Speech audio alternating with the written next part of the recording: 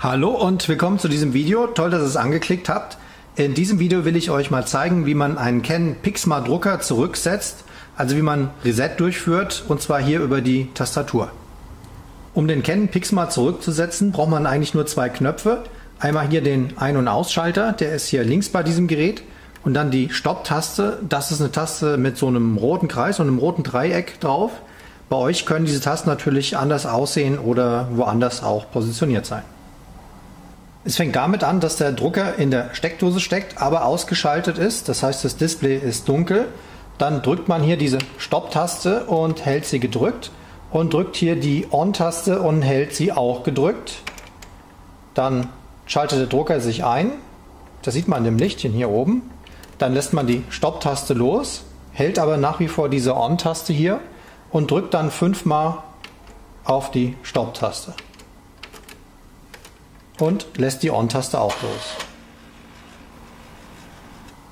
Jetzt muss man den Drucker so eine Minute gewähren lassen. Ab und zu hört man da irgendeinen Klacken oder den Kopf sich bewegen. Hier leuchtet das Licht noch grün und wenn er dann so eine Minute oder zwei nichts mehr macht, dann kann man den hier mit dem On-Schalter ausschalten.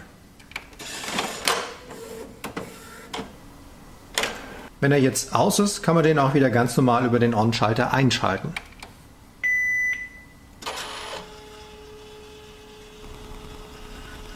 Jetzt ist der Drucker also zurückgesetzt, softwareseitig.